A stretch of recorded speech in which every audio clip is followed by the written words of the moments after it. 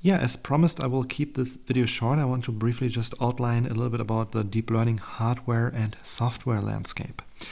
So um, yeah, regarding hardware for deep learning, what has happened in this area? There's a lot of yeah research going on in this area, but essentially most of it is still uh, or most of deep learning is still done using GPUs. So um, NVIDIA is uh, yeah, advancing their GPUs every year. There's a new model every year, actually a set of models. So most people still use GPUs for deep learning.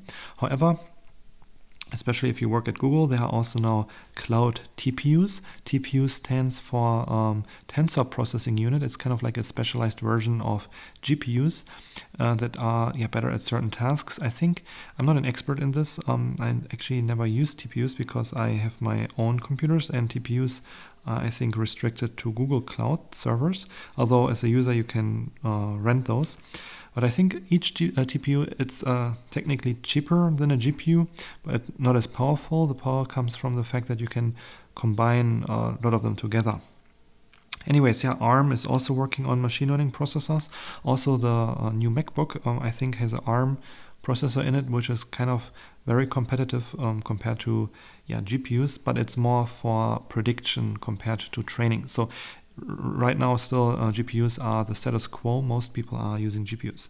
Um, but yeah, again, other companies are also developing custom chips uh, focused on deep learning just to make deep learning more efficient. Because if you think about it, GPUs are really like um, inspired or come from the gaming industry. So they were not um, developed with deep learning originally in mind. However, they are very good at deep learning. And nowadays, NVIDIA also yeah, develops chips that are especially only for deep learning, not for gaming. Um, yeah, and also there's a new company uh, called GraphCore. I just saw that in a recent article. There's also now a IPU, which is an intelligence processing unit, which is especially useful for graph neural networks. So you have CPUs, which are very good at computing yeah, simple computation with scalar values like single values. GPUs are very good at working with vectors, and these IPUs are very good at working with graphs. That's also a new thing I recently saw.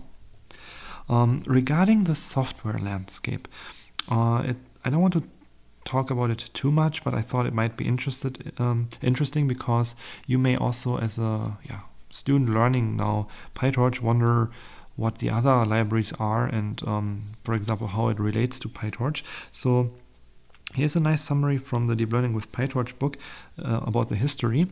So yeah, I remember back then I was using Theano. That was like before 2015. So in the first edition of my Python machine learning book, I still used Theano. And then approximately in 2015, TensorFlow came out by Google. And yeah, also uh, lots of things have happened since then.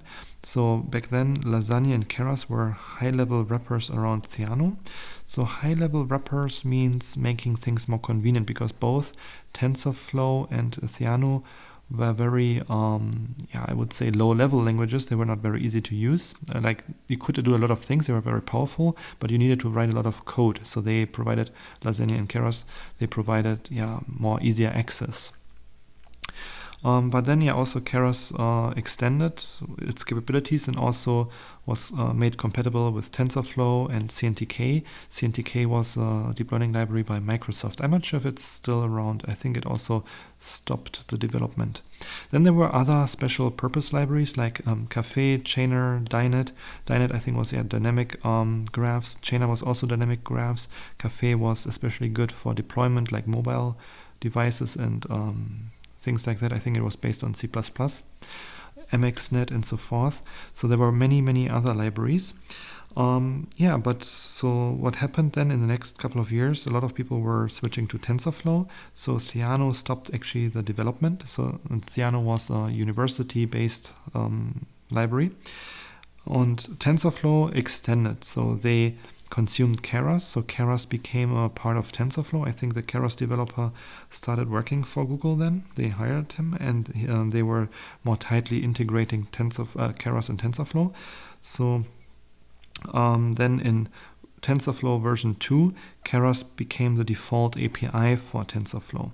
And they also added a eager mode, which is similar to PyTorch's um, yeah, dynamic graph. So PyTorch got the dynamic graph idea uh, kind of like from a Chainer. That's another library here.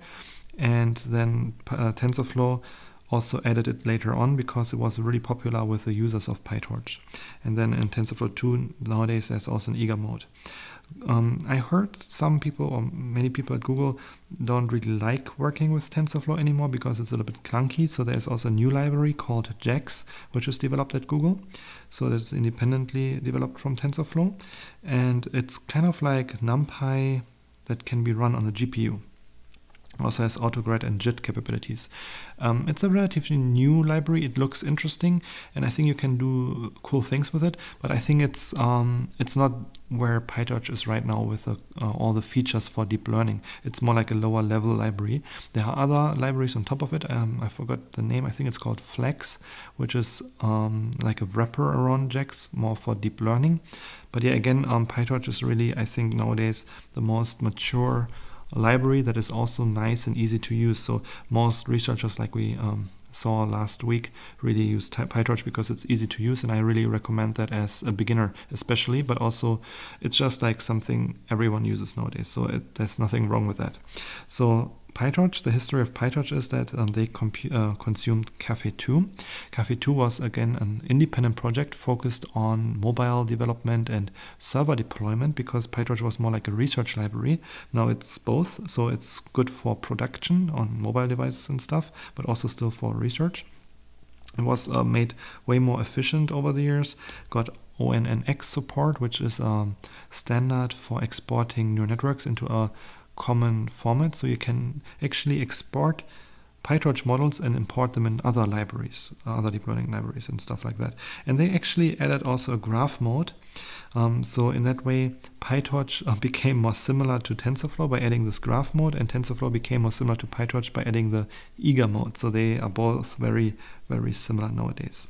Anyways, that's just a short history of how software developed over the years. In the next uh, last video of lecture 2, I want to briefly highlight some of the current research areas and trends. And then uh, in the next lecture, we will get to perceptrons.